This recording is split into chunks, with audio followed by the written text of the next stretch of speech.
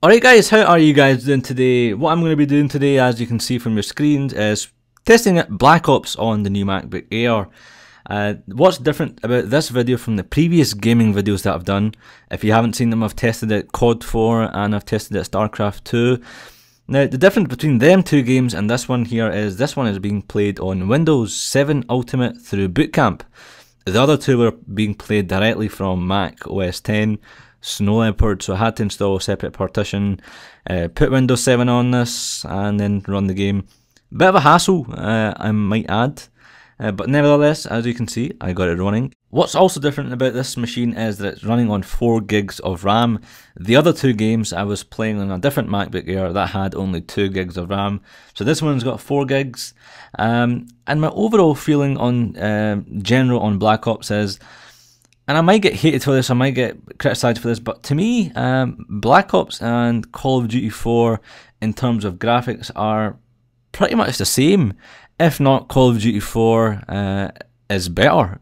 Uh, they're made by two different developers. This is Black Ops is of course made by Treyarch, and the other one is made by Infinity Ward. Personally, my personal point is, and it's not a fact or anything, my personal point is Infinity Ward do a damn good job of uh, graphics and quality uh, over Treyarch. Uh, but nevertheless, Black Ops is an amazing game.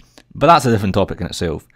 What do I think about Black Ops on the MacBook Air? As you can see, it's playing, it's fine, the video's fine. I would probably only play single player mode on this and then delete it once I've completed it. I wouldn't play multiplayer, uh, and the reason for that is you wouldn't enjoy it. I mean, I, I, I play on the Xbox quite a lot. Uh, it's one of my favourite games, one of the games that's always in my Xbox, and I play it a lot.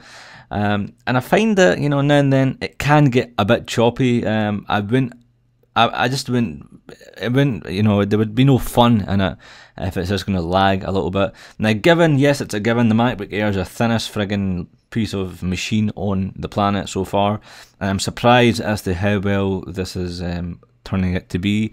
I, I didn't expect it to perform as it currently is. I mean, try and do this on a netbook, as some people compare this MacBook Air to. Um, no way are you going to get the same performance out of it. So I would only play a single player, delete it once I've, and then you know play multiplayer on a proper games console. Sit down, son. Take a knife to your hands. And as you can see, uh, I'm getting a. Is it what I'm not even too sure what a gun it is, despite me prestiging on the Xbox. But I've got my grenade launcher right here, and I'm going to cause some carnage. As you can see, you've probably seen there, um, it did lag a little bit. And um, if you are going to be playing this on the hardest level, which I think is the veteran mode, um, you are probably going to find it a bit annoying. And here you can see me taking out these cars. Now, you're probably looking at this and saying, hey, tell us what settings you're playing this on. The game settings which you can change from the Black Ops menu, I chose 1280 by 800, uh, 1280 by 720 or 768 also worked fine. But to me, I don't know, this option seemed like it was the best one. And my MacBook Air specs are, of course, the Core 2 Duo 1.86, 4 gigs of RAM, NVIDIA 320. I'm not too sure how well it's going to perform on the 11 inches, but I'm thinking due to the uh, low processor, um, and especially if you've got 2 gigs of RAM, uh, it is going to be more choppier. Um, but that said, I mean, I mean, look at look at you know the graphic quality of this. It's nice. Um, personally, I'm not a PC gamer. Uh, I'm not. I'm more of a console guy. More of an Xbox guy, and as you can see, I'm rallying my way through uh, the baddies.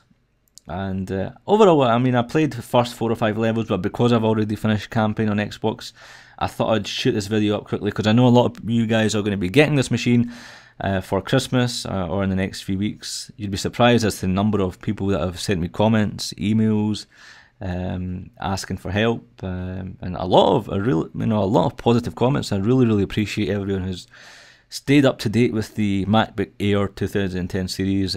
But guys, in all honesty, that is greatly appreciated. Uh, that is very, very cool of you guys. And here I'm going to go and choke this guy. But first of all, I'm going to try and see if I can shoot his ass, but then I realise it's not going to be a good move. Trying to aim in and... Sir, look behind you. On the ground. Oh yes. Look at that guy's face. Look at those expressions. He was in pain. Um, but here, I'm just again just showing you that you know you can shoot stuff off the table for whatever reason. But guys, if you have any comments, if you're running this game, uh, what performance levels are you getting? Any tips to boost the quality? Although I'm sure there isn't. But maybe when this game actually comes out on Steam for the Mac, it might perform a little better. I'm not too sure. Were the previous two games I tested it proving better because they were running directly from Snow Leopard, i.e., I didn't have to install uh, Windows 7. But here I go on a nice wee streak. Take a knife to your throat, son. And you, sir, sit down. And I get raped uh, at this part here. There were just too many guys. But guys, again, thanks for watching. I really appreciate it. If you have any comments, leave them down below. Any concerns, any queries, um, leave a video response. That would be a bonus. If not, you can go into iglaswegian.com. And guys, if you haven't seen the other MacBook Air videos, I highly recommend you go watch them. Especially if you are thinking about getting one or you're not too sure if that machine is going to be for you. I've done a lot of speed tests, video tests. Yeah, it's worthwhile watching. I've also got a gaming channel where I kind of do commentary over Black Ops on my Xbox. And I'll leave, if you click on the bottom right hand corner of this video, you can go directly to that. But guys, thanks for watching. Cheers!